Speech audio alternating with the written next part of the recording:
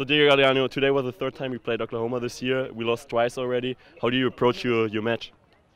Well, I think the entire team was really focused and really motivated to play them again. We, we lost really tough matches against them twice already this year, so you know the entire team just worked really hard and we got the W at the end. Um, you lost the first set really close, uh, got one break, and uh, the second you were already one break down. So, um, how did you end up uh, coming back? I just believe in my teammates. I saw Pepe playing. I saw he was playing really tough points, so I do believe in them and, And- and just play one ball at a believe in you? time.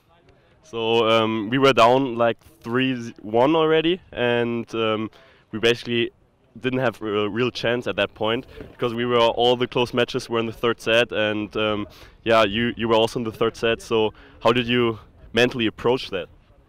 I think when Mitchell won his first singles, that was really important for us.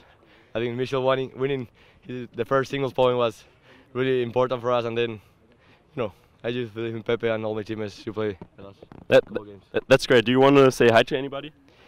Yeah, please say hi to Julian Lenz, my favorite German in America. now wait, Julian Lenz.